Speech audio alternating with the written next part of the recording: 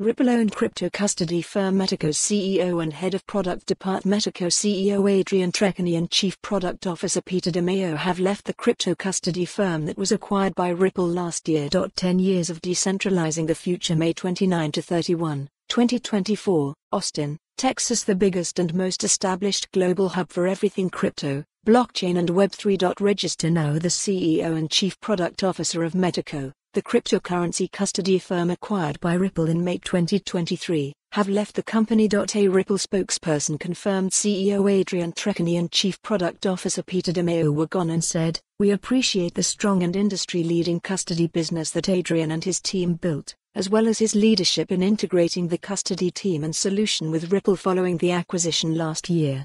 Custody remains integral to Ripple's growing business as we continue to provide best-in-class enterprise crypto solutions for our customers around the world. Before being acquired by Ripple, Metaco had become a favorite partner for European banks looking for assistance with the custody of digital assets. Most recently, Metaco signed up HSBC, although there had been reports that banks were re-evaluating their relationship with Metaco in the wake of the acquisition. Edited by Nick Baker. Ian Allison Ian Allison is an award-winning senior reporter at CoinDesk. He holds ETH.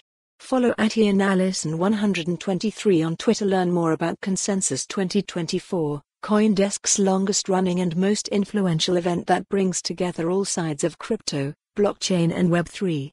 Head to consensus.coindesk.com to register and buy your pass now. Read more about Ripple Metaco exclusive. Follow the URL for the full article. For more on this story, visit the news article link.